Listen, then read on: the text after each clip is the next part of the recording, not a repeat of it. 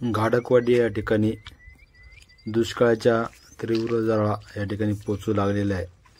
त्यामुळे जनावरांना पिण्याची पाण्याची टँकरने पाणी पुरवठा करण्याची वेळ या ठिकाणी आलेली आहे.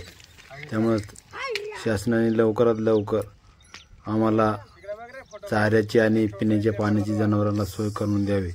ही मी गाडकवाडी ग्रामस्थांच्या वतीनं आपणास विनंती करत आहोत.